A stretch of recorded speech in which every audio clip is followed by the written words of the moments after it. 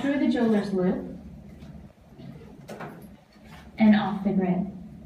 So let's get going.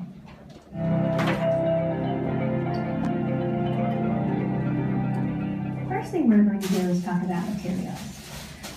Watercolor paper is essential for this project, and there are many different varieties. There's hot press, which has a smooth surface. There's cold press, which has a tooth or a um, raised surface, and rough, which is has an even bigger or stronger tooth. I prefer cold press.